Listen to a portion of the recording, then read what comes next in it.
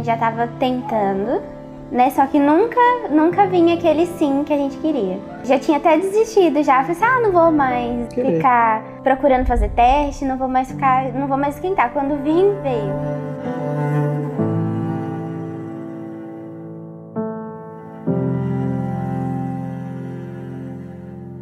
E só que teve um dia, foi em junho, eu acordei e eu tava sentindo que eu estava grávida. Na verdade, eu não cheguei a passar mal, não cheguei a ter sintomas, que eu senti que eu estava grávida.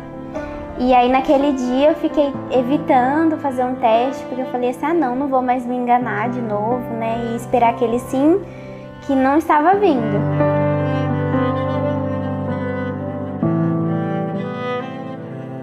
Mas naquele dia Deus parece que ficou no meu coração o dia inteiro. Faz, faz, faz. Aí passei na farmácia e fiz o teste. E aí deu positivo. Eu fiquei super, tipo assim, sem acreditar e ao mesmo tempo acreditando. E aí, na mesma hora, eu só quis fazer uma surpresa pra ele, porque eu sabia que ele também queria muito. Uhum. Aí eu fui numa loja, é, tive que ir numa loja, comprei uma roupinha, coloquei o teste dentro e esperando ele chegar. Aí quando ele chegou, eu falei pra ele que tinha comprado um presente. Eu falei, que- que estranho. Um presente É. fora de época. E aí eu dei pra ele e era o sim. É, foi muito que eu queria mesmo, né? Que a gente tivesse um filho, né? E foi uma surpresa pra mim, assim, incrível.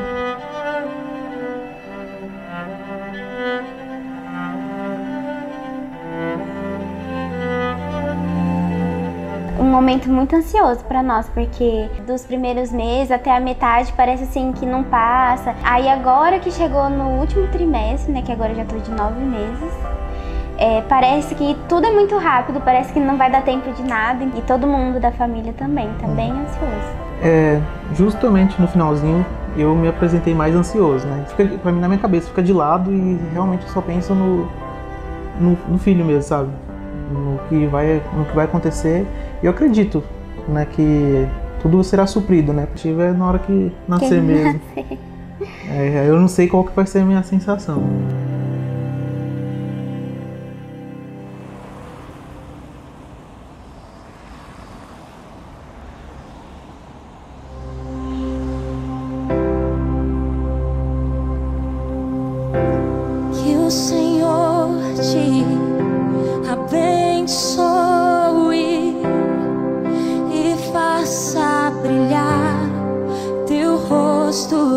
Ti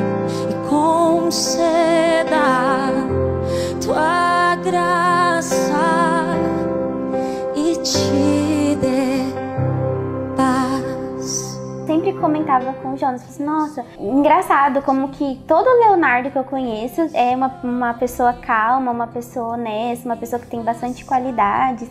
E aí eu falei pra ele, assim, quando a gente tiver um filho, se for homem, se for menino, né, vai se chamar Leonardo. Eu falei, nossa, é verdade. E todos os Leonardo que eu conheço também realmente é, é muito quietinho. O significado também é legal, é, né? forte como um leão. E pra nós tem todo sentido, porque a gente já teve uma perda antes. E só o fato dele existir e venceu todo cada mês, cada cada dia com ele na barriga, então pra nós teve um sentido mesmo, dele ser um forte desde a barriga.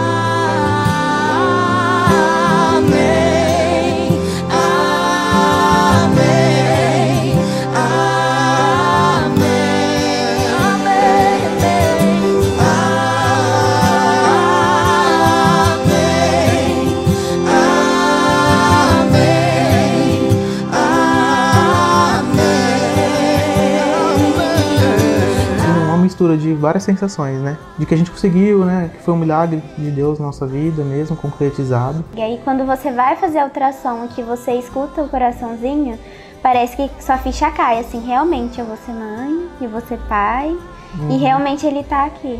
Então é essa sensação que a gente teve. Que a bênção se derrame até mil gerações, tua família e teus filhos e os filhos dos teus filhos, tua presença.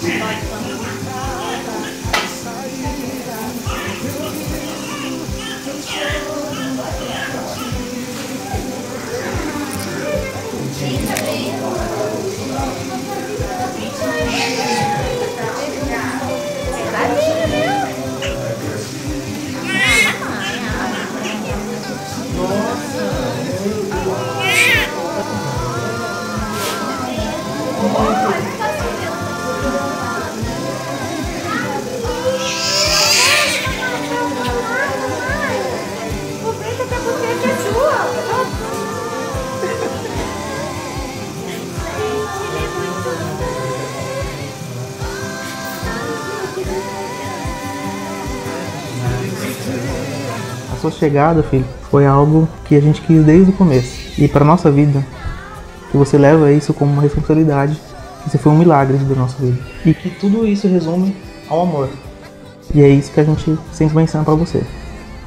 O amor. É por ti, é